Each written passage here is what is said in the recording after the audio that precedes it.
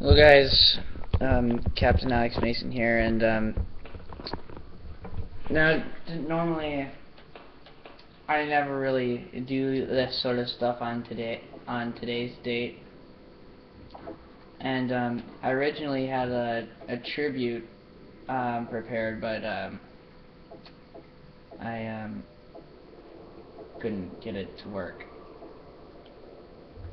Team Deathmatch. Delta Team, you are clear to engage. And um, I chose this map because of obvious reasons. Um, today is 9/11, uh, unfortunately, um, sadly, and um, everybody knows what happened on that day. And um, basically, what I'm going to be talking about in this video um, is events that um, were caused by this event and um, things that led up to this. Um, basically, now in uh, 1979 there was a whole Soviet-Afghan war between the Soviet Union and the Mujahideen um, rebel fighters, which um, are now known as Al-Qaeda forces. And back then, though, they were the good guys, like, basically. And, um, one of their uh, members, which we know very well, Osama bin Laden, um, was part in one of, took part in one of the big, uh, events that day. Um, now, when he first started his act of terrorism, he started to refer to the 1983 Marine barracks bombing in Beirut during the 1982 Lebanon War. And he would use that as like an example to all of his terrorist followers and to any of those who would like follow his uh, his uh, ruling, of course.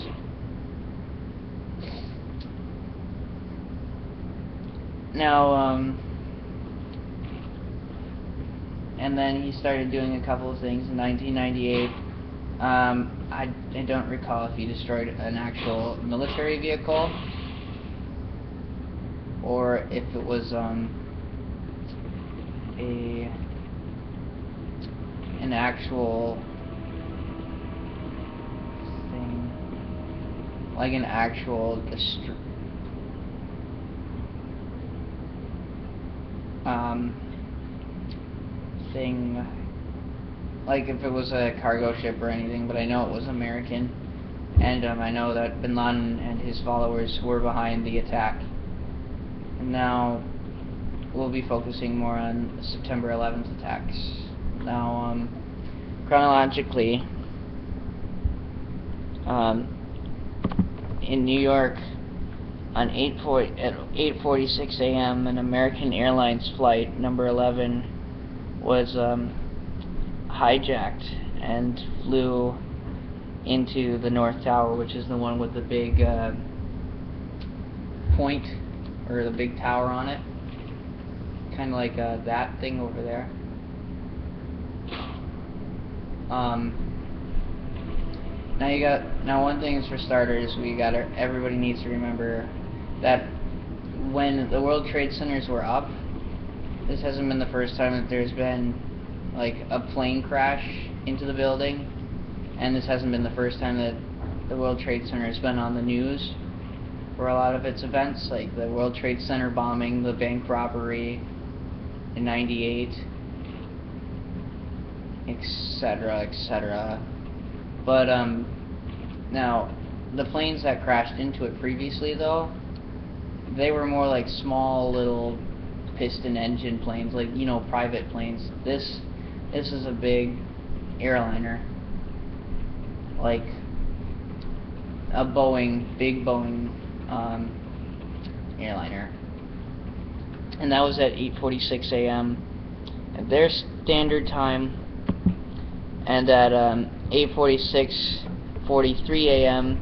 the first battalion chief of the FDNY, Joseph Pfeiffer, I'm hoping I'm pronouncing his name right, um, made his first radio call to advise the FDNY to head to, to all meet up at the World Trade Center because there's an event going on. And basically, here's what he said. He said to the Manhattan Dispatch that says Battalion 1 to Manhattan, and then they reply Battalion 1K.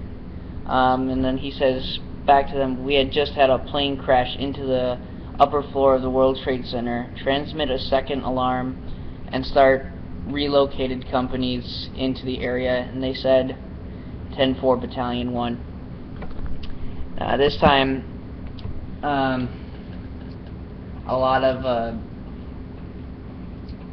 um, airfield bases, like for the military and stuff, were already being scrambled because um, some, like when the jets were hijacked, they turned some of their transponders off when the terrorists took over the cockpit and stuff, and then they they rerouted the intentional route that the plane, the airliners, the airline was supposed to go, and um,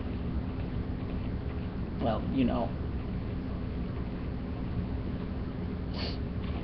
I'm sorry, but um.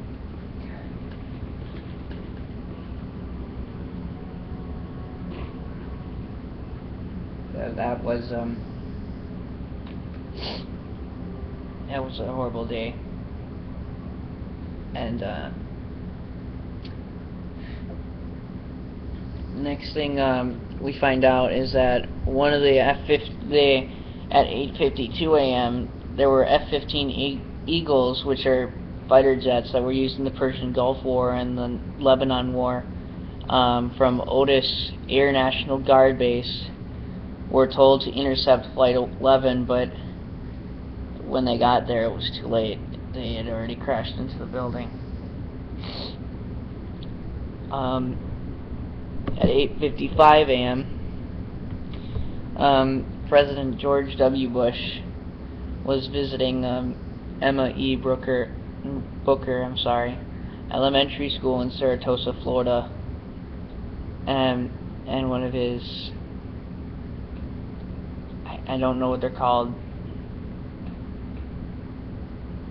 One of his people, uh, they're not Secret Service, but they follow him around a lot. Um, told him that uh, planes crashed into the World Trade Centers and the actual Pentagon in D.C. and everything.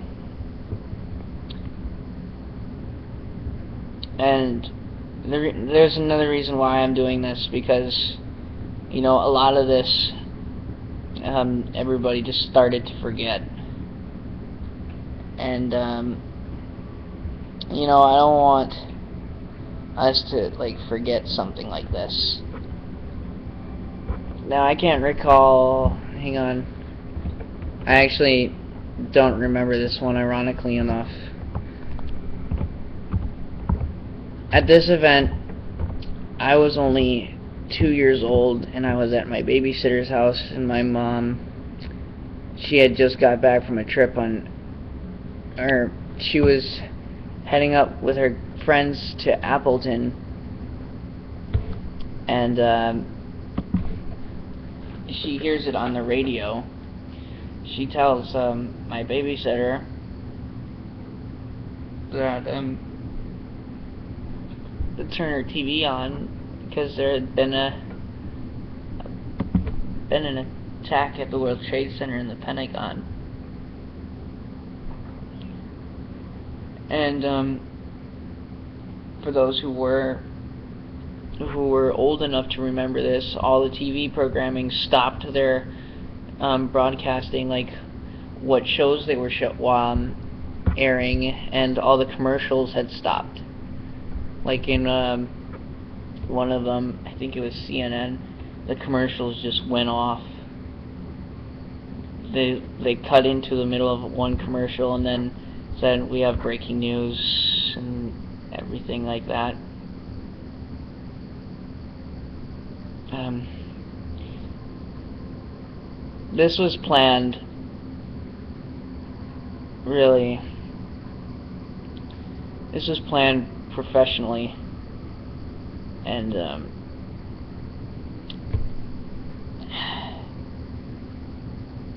it, was it was awful. Now the crash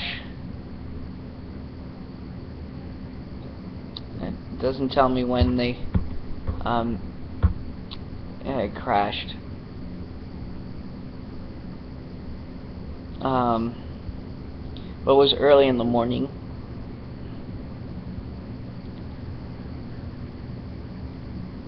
Then uh, they they uh, did some stuff that they felt like they were proud of.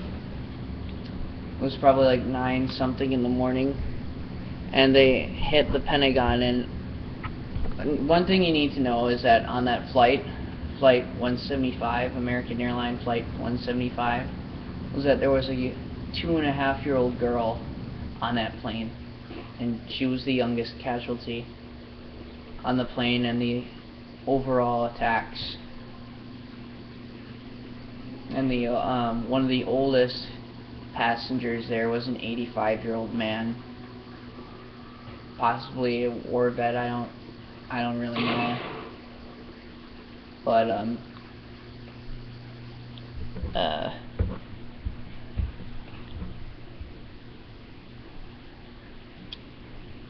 and um, at 9:03 a.m. Wait, that was American Airlines flight 77. That was not 175. Um, but flight United Airlines flight 175 was hijacked, and then it flew into the South Tower, the World Trade Center. And then that's when everybody, or most of the people that thought that this was just a tragic accident, now figured out that this was an organized plan. And I was wrong. It was 9:09 a.m. that the flight crashed into the Pentagon. And then um, at 9:41:15 a.m. Um, and before that, um, a lot of people who were trapped on the top floors, um, they decided to um, jump off the World Trade Center.